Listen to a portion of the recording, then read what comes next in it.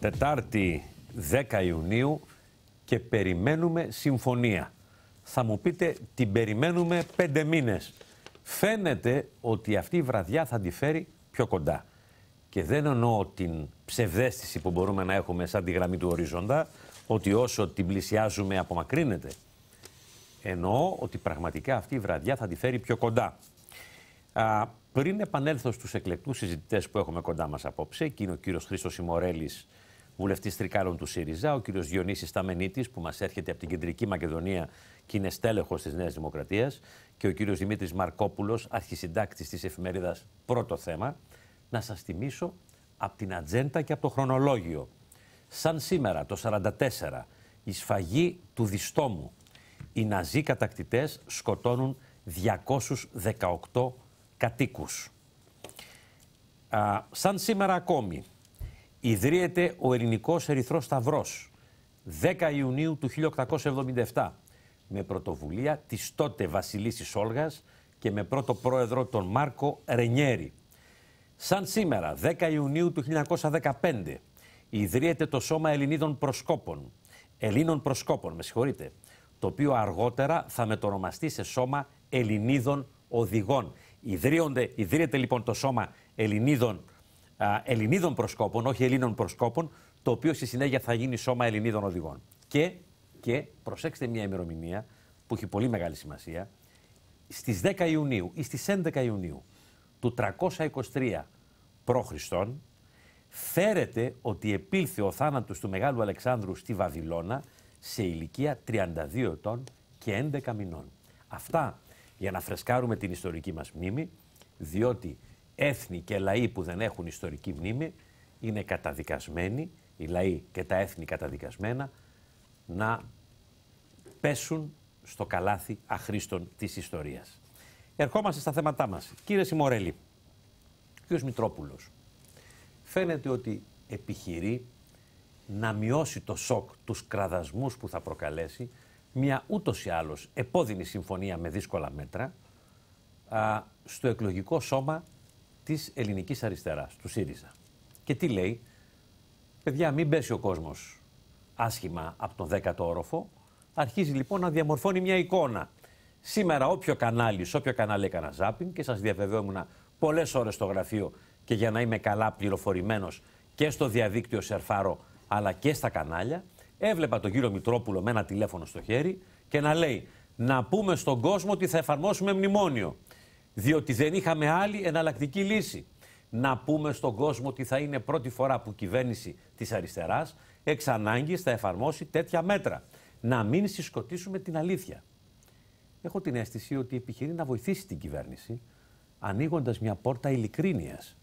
Γιατί θα είναι τεράστιο το σοκ κάποιος που ψήφισε το ΣΥΡΙΖΑ προεκλογικά για να ασκήσει τα μνημόνια, τώρα να δει το ΣΥΡΙΖΑ να εφαρμόσει μνημόνιο.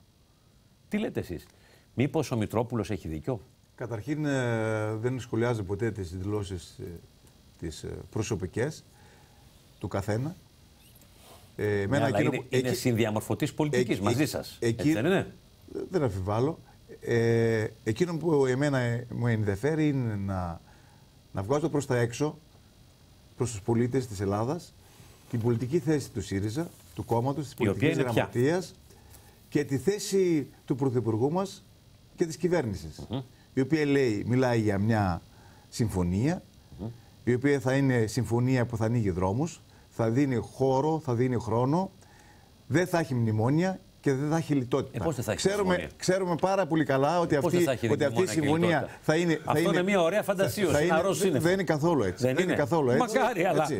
Ε, θα είναι, Μακάρι, αλλά εγώ δεν βλέπω. Ξέρουμε ότι είναι μια δύσκολη. Θα πέσουμε από το Ρώσο Θα είναι μια δύσκολη, μια, μια δύσκολη συμφωνία, αλλά είναι μια, μια συμφωνία η οποία θα μας ανοίγει δρόμους. Και εξάλλου θα μιλάει, αυτή η συμφωνία μιλάει για χαμηλά πλεονάσματα, θα μιλάει για πρώτη φορά, για πρώτη φορά για το χρέος, που για, που για μας είναι πάρα πολύ βασικό. Δεν νομίζω ότι και μιλάμε ξέρουμε, πρώτη φορά. και, ξα- Μιλάμε πρώτη φορά για το χρέος. και ξέρουμε πάρα πολύ καλά Θα σας θυμίσω ότι έγινε το Νοέμβριο του χρέος 2012. αυτό, το χρέος αυτό δεν είναι βιώσιμο. Βέβαια για τη Νέα Δημοκρατία και για τον Πασόκ και τη συγκυβέρνηση που πέρασε ήταν βιώσιμο. Οι δηλώσεις αλλά του κ. γνωρίζουν, Βαρουφάκη 20 γνωρίζουν Φεβρουαρίου πάρα πολύ αναγνώρισε καλά το χρέος και οι έδωσε πολίτες υπόσχεση και οι οικονομολόγοι ότι θα της αποπληρωθούν Ευρώπης ότι αυτό όλες το οι δημόσιο- υποχρεώσεις της το ελληνικής δημόσιο δημοκρατίας στους χρέος, δανειστές. α, με Αυτά αυτό το τα είπε ο χρέος κύριος δεν βγαίνει. Βαρουφάκης. Έτσι. Αυτά τα είπε ο κύριος Βαρουφάκης, όχι εγώ.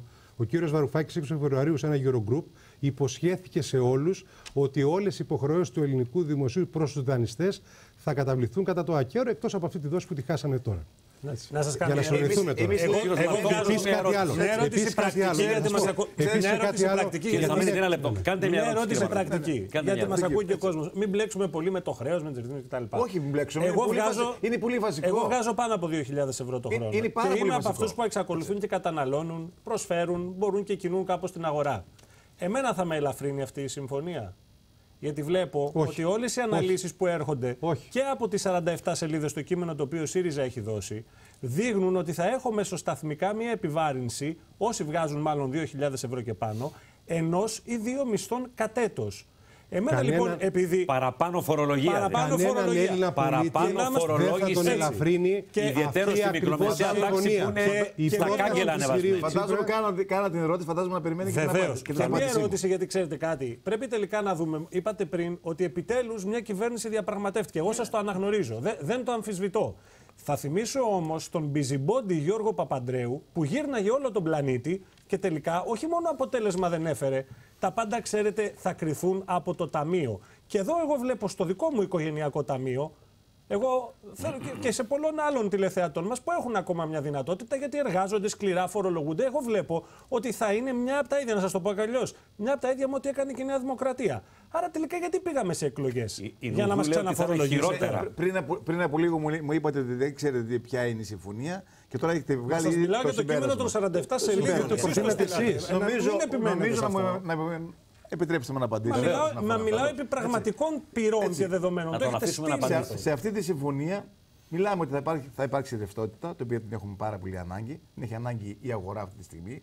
Μιλάμε, εμείς λέμε ότι σε αυτή τη συμφωνία δεν θα υπάρχουν μειώσεις στις συντάξεις, στους μισθούς. Πάλι στο δημόσιο δηλαδή. Δεν θα υπάρχει αύξηση Για τον φορολογίας. ιδιωτικά εργαζόμενο. Δεν θα υπάρχει αύξηση φορολογίας. Άρα θα μειωθεί το Τον Άρα εισόδημα. θα μειωθεί το Αυτό είναι εισόδημα. που θα πληρωθεί και Μπορεί από να τους μην δημόσιους μειωθεί υπάλληλους. ο μισθός του 1.100 ευρώ η σύνταξη. Αν αυξηθεί η φορολογία, δεν θα μειωθεί. Για συγκρίνετε, για Παρακαλώ. συγκρίνετε, για συγκρίνετε τις θέσεις που έπαιρνε η προηγούμενη συγκυ- η κυβέρνηση. της Νέας Ο Δημοκρατίας. προπολογισμός του Έτσι. 2014 είχε 7% μείωση του έμφυα. και ξέρετε- Ψηφισμένο και μέτρο. ξέρετε πάρα πολύ Εσείς καλά- καταργεί το 7% και παραμένει ως έχει. Άσχετα αν προεκλογικά είχατε δηλώσει την κατάργηση. Πάντως, του. άμα- Θα έχουμε έμφυα και το 15 Επιτρέψτε και με το να 16. απαντήσω. Επιτρέψτε με να απαντήσω. Έτσι, σας λέω ότι δεν υπάρχουν μειώσεις μισθών και συντάξεων. Αν αυξηθεί η φορολογία, δεν θα έχει μείωση πραγ- κάτι το οποίο, πραγματική. κάτι το- Μειώσεις στο εισόδημα θα υπάρχει. Κάτι, Υπάρχει. κάτι το οποίο. Το, Έμεσες. κάτι το, Έμεσα, τι, τι κάτι διαφορά το έχει; οποίο το Έμεσα, είχατε- αλλά σαφής. αν αυξηθεί το ο είχατε ΦΠΑ, εσείς- το είχατε καθόλου, εσείς στο σκέλιο καθόλου, Χαρδούβελη καθόλου. και φόρους Στο email μαζί. Χαρ- Καρδούβελη Και δεν φο- υπήρχε και καμιά φόρους. Και μείωση φόρους. συντάξεων και μισθών.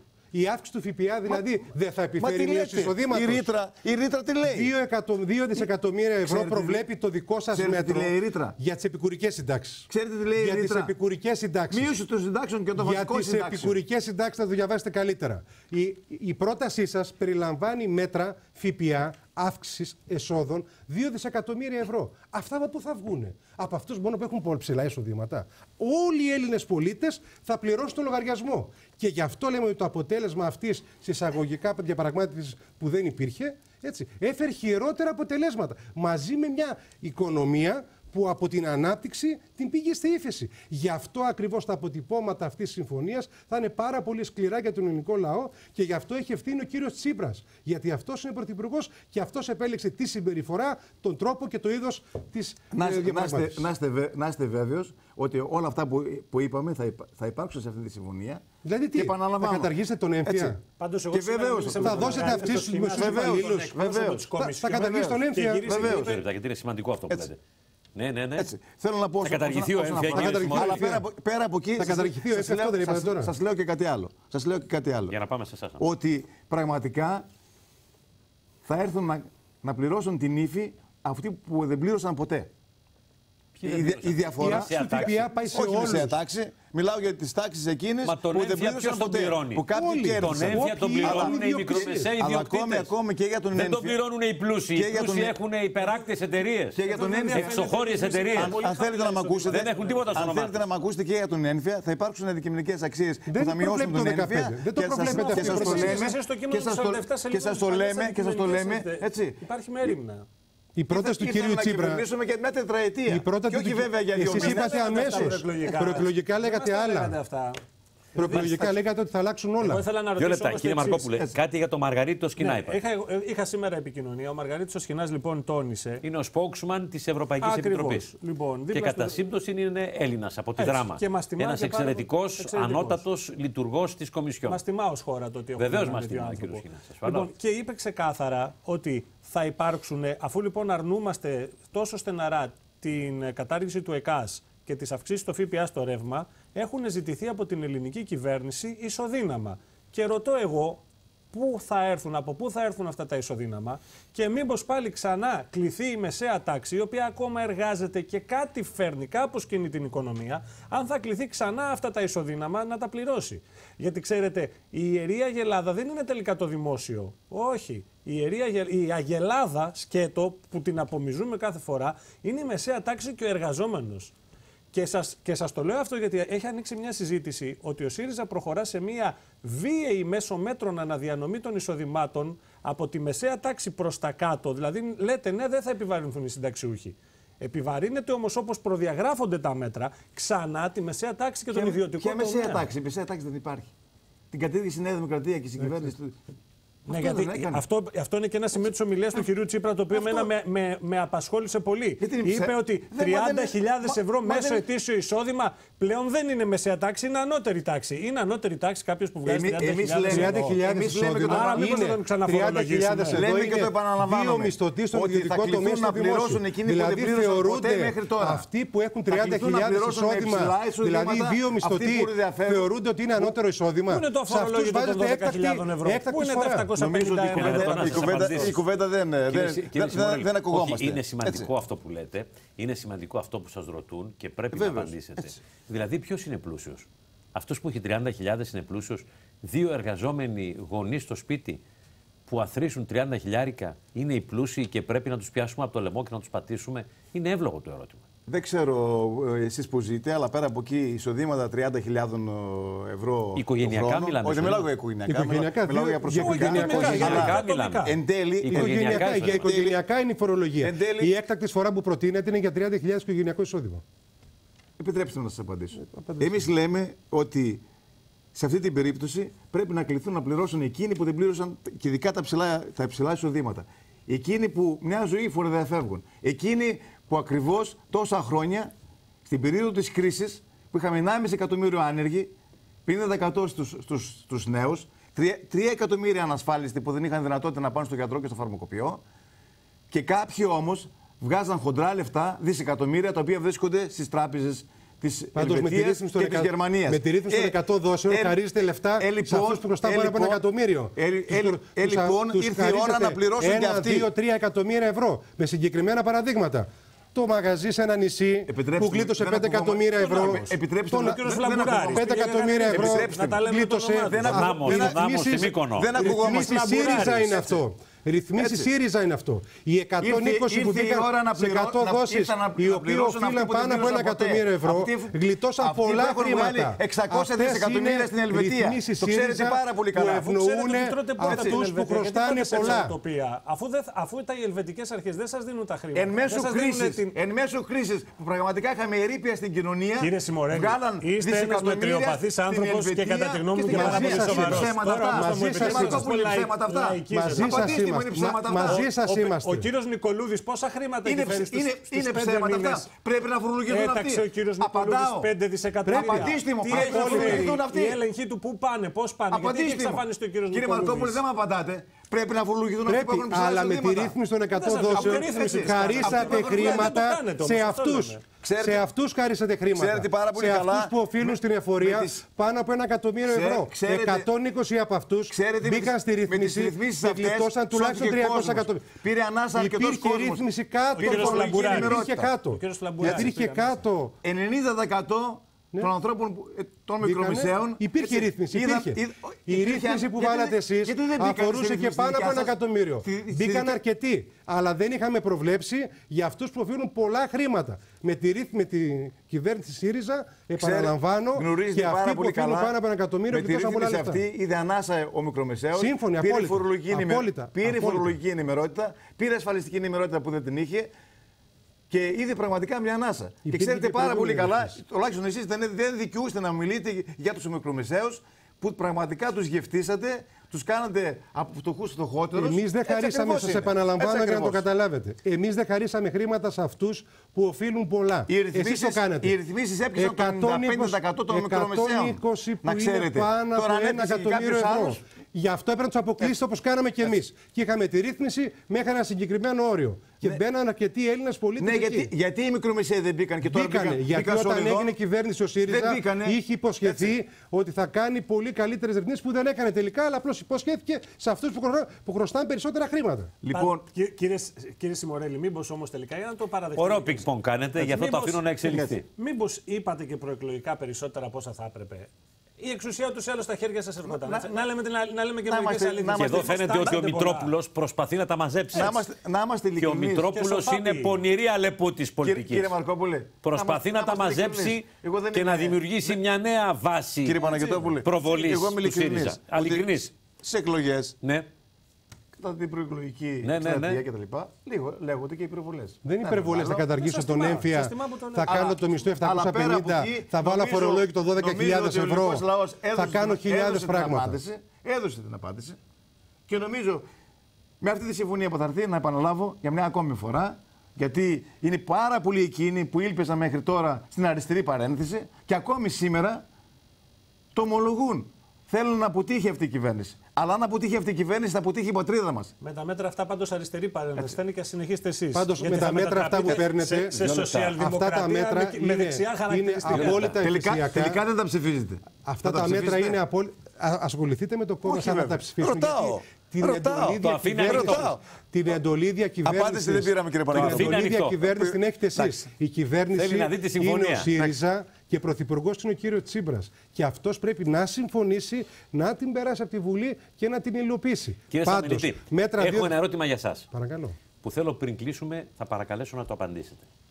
Κοιτάξτε, εγώ θα πω, θα πάρω το κόστος και θα πω ναι, η κυβέρνηση έκανε και στραβοτιμονιές και χρόνο πολύτιμο έχασε και περιπλανήθηκε ανάμεσα σε σκοπέλους και εφάλους που συγκροτούνται από τις ιδεολειψίες και ταλαιπωρήθηκε σε διαδρομές ε, φαντασιακών σεναρίων που προέκυπταν από τις δεσμεύσεις τις μετεκλογικές. Άλλα πίστευε ότι θα βρει, άλλα βρήκε. Οπότε άλλα είπε προεκλογικά, άλλα υποχρεώται να κάνει μετεκλογικά. Σύμφωνοι. Παίρνω όμως τις δημοσκοπήσεις, ανοίγω τη δημοσκόπηση του Πανεπιστημίου Μακεδονίας του κ. Μαρατζίδη και τι βλέπω. Στο 16,5 η Νέα Δημοκρατία. 34,5 ο ΣΥΡΙΖΑ. Τώρα που γνώρισαν το ΣΥΡΙΖΑ. Το γνωστό ΣΥΡΙΖΑ που τον περιγράψατε κι εσείς πριν από λίγο. Αυτό τι σημαίνει κύριε Σαμινίτη. Σημαίνει ότι αυτή τη στιγμή η χώρα δεν έχει εναλλακτική δύναμη διακυβέρνησης.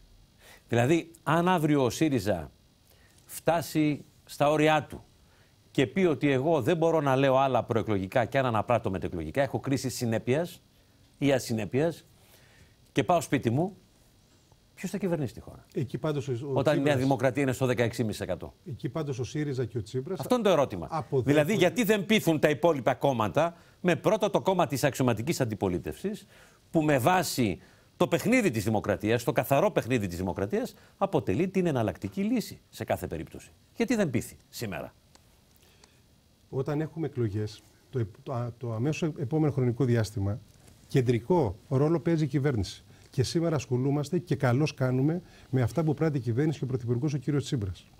Εκεί είναι το ζητούμενο και εκεί πέρα βλέπουμε. Και τι βλέπουμε στις δημοσκοπήσεις αυτές, Βλέπουμε ότι τα ποιοτικά στοιχεία του κυρίου Τσίπρα και του ΣΥΡΙΖΑ καταραίουν, όπως και πέφτει το δημοσκοπικό του γεγονός. Θα ήταν τρομερά ε, ε, τρομερή έκπληξη Λέτε είναι πολύ να νωρίς βλέπαμε ακόμη, στους αυτό τέσσερις λέτε; μήνες αυτούς να είχε μπορέσει είναι πολύ νωρίς όλα τα ακόμη. κόμματα της αντιπολίτευσης να είχαν κερδίσει έδαφος. Όμως, μια πιθανή αποτυχία του κύριου, Σύρη, του Αλλά κύριου λέτε στα Τσίπρα ποιοτικά στοιχεία καταρακώνεται καταραίουν, σιγά σιγά. καταραίουν. αυτά, Από ποια είναι 70% Για πήγε εξηγήστε στο το, 40%. ποια είναι Από το αυτά. 77 πήγε Στην στο απο- 85. Ακούστε, αν τη δείτε, πρόθεση αν, ψήφου χάσατε, αν τη 2%, δείτε έτσι. τη δημοσκόπηση, αν επιβραβεύουν τις πολιτικές, το τι ζητούν οι Έλληνες πολίτες, θα δείτε ότι από το Φεβρουάριο μέχρι και τον Μάιο έχουμε κατάρρευση όλων των ποιοτικών στοιχείων του κύριου Τσίμπρα και του ΣΥΡΙΖΑ. Όμως, τι θα γίνει; Αν ο κύριος Τσίπρας αποτύχει και πει: Εγώ δεν μπορώ να υλοποιήσω όλα αυτά που είχα υποσχεθεί προεκλογικά, το αφορολόγητο, τον έμφυ, κατάρριξη του έμφυα, κατά το μισθό και χίλια πράγματα που, έτα, που έταγε στους πάντες τα πάντα, εκεί ακριβώς ουσιαστικά ομολογεί ότι η πολιτική που έπρατε η Νέα Δημοκρατία και ο Αντώνης Σαμαράς ήταν η μοναδική που υπήρχε. Και εκεί νομίζω ότι θα είναι η μεγαλύτερη επιβράβευση αυτών που γίνονταν μέχρι σήμερα.